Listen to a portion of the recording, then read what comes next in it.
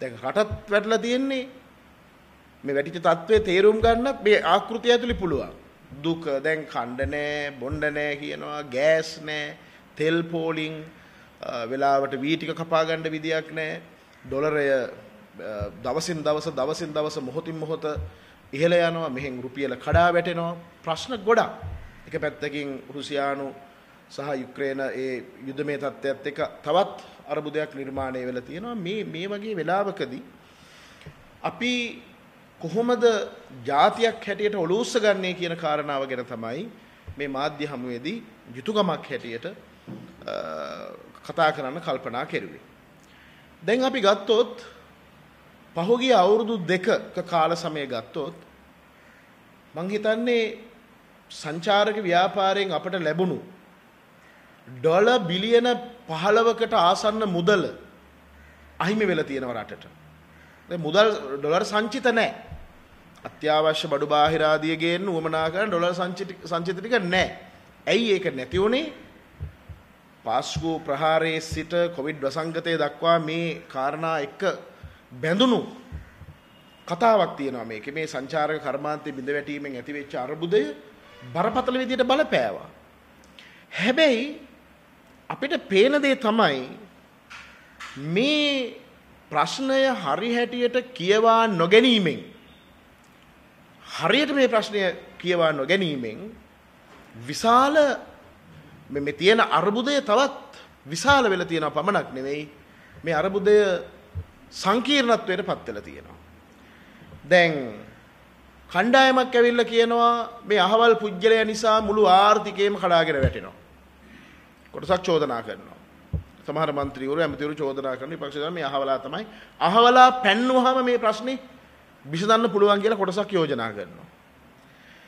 ප්‍රශ්නය පුජ්‍යලයක් නෙවේ නම් අපි පුජ්‍යලයක් ඉලක්ක කරගෙන පහර දීමෙන් ඇති පළක් වෙන්නේ නැහැ. ප්‍රශ්නේ පුජ්‍යලයක් නෙවෙයි නං. ඒතර අපි හිතමුකෝ මේ ඩොල දැන් මේ සංචාර කර්මාන්තයෙන් ඩොලර් බිලියන 15ක් හම්බුණා නම් ඒක ලැබුණ නැත්තේ බැසිල් රාජපක්ෂ මහත්මයා නිසා නම් ඔහු එතෙන් අයින් කළා වෙන කෙනෙක් එතනටපත් වුනහම ওই ඩොලර් බිලියන 15 ওই සංචාර කර්මාන්තය නිසා ඒ ලැබුණු මුදල් ටික ලැබෙනවා නම් කිසි වරදක් නැහැ. ඒක ගම්මන්පිල මහත්තයාපත් වුණත් එකයි, මල්ලිරස මහත්තයාපත් වුණත් එකයි, වෙන කවුරු හරි පත් කෙරෙපත් වුණත් එකයි. ඒතර ප්‍රශ්නය පුජ්‍යලයක් නෙවෙයි නම් පුජ්‍යලයකට පහර දීමෙන් ඇති පළක් නැහැ. දැන් 69 ලක්ෂක ජනවරමක් තියෙනවා. ජනාධිපතිවරයෙක් පත් වුණා බහුතර ඡන්දෙන්. ආණ්ඩුවක් හදලා දුන්න 3යි 3න් දෙකක බලයක් එක්ක. ඒතර මේ 3න් දෙකේ බලය ලබා ගන්න වෙලාවේ දැන් ඔය කඳවුරු වලට බෙදලා ඉන්න කවුරුවක්වත් කිව්වේ නැහැ. අපි මගට යනකොට මෙහෙම කැඩෙනවා, බිඳෙනවා, විරසක වෙනවා, කඳුළු හෙලනවා. නාහෙන් අඩනවා හොටු පෙරනවා කියලා මිනිස්සුන්ට කිව්වේ නැහැ. ඉතින් ඒ වගේ මේ මුළු සමස්ත ජාතියම මුහුණ දෙන මං හිතන ඉතිහාසයේ බරපතලම ආර්ථික අර්බුදය ඇති වෙච්ච වෙලාවේ මේ අහවලා නිසා මේක වෙනවා මෙයා නිසා මේක වෙනවා. එහෙම කියලා එකිනෙකාට චෝදනා කරගෙන මාධ්‍යවල ඉස්සරහට ඇවිල්ලා අරගොල්ලෝ පන්නන්න මේගොල්ලෝ පන්නන්න ඒක කතා කරන වෙලාව නෙවෙයි මේ. කට්ටියට එකට වැඩ කරන්න බැරි නම් මැතිවරණයක් එනවා. ඒ මැතිවරණ අවස්ථාවේදී කියන්න පුළුවන් අපි ආයේ සන්දානගත වෙන්නේ නැහැ. මේගොල්ලන්ගේ මේගොල්ලන්ගේ මෙන්න මේ ප්‍රතිපත්ති වල දුර්වලකම් තියෙනවා. එහෙම සාකච්ඡා කළ මැතිවරණ අවස්ථාවේදී ඒ ආදර්ශය සපයන්න. දැන් මේ එකට ඉන්නවා කියලා ජනවරමක් අරගෙන. දැන් අපිට කිව්වේ නෑනේ වේලසනින් අපි මරා ගන්නවා මෙයා මෙහෙම කරනවා මේ හිත්වල අලුයට ගින්දර තියෙනවා වගේ එක එක එක එක අරබුද තියාගෙන ඉඳලා දැන් අපි මිනිස්සුන්ගේ අපි බැනුම් අහනවා.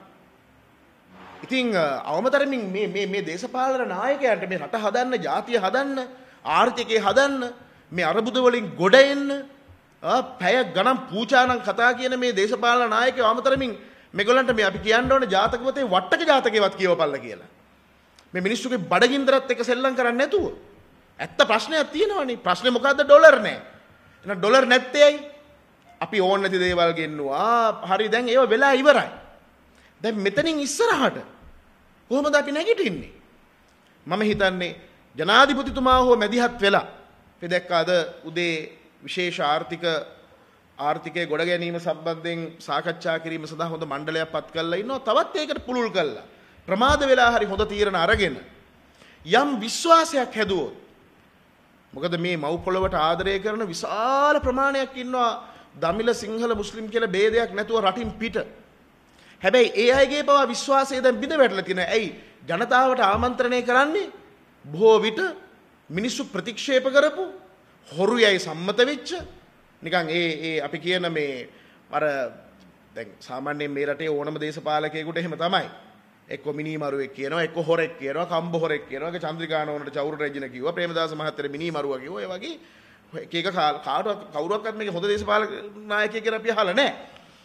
ඉතින් කොයි හැටි වුණත් අර චෝදනා ලැබපු අයම ඇවිල්ලා මිනිස්සු ඉස්සරහට ඇවිල්ලා කතා කරනකොට තවත් මිනිස්සුන්ගේ ආකල්පය දරුණු වෙනවා වෙනස් වෙනවා අප්‍රසන්න වෙනවා.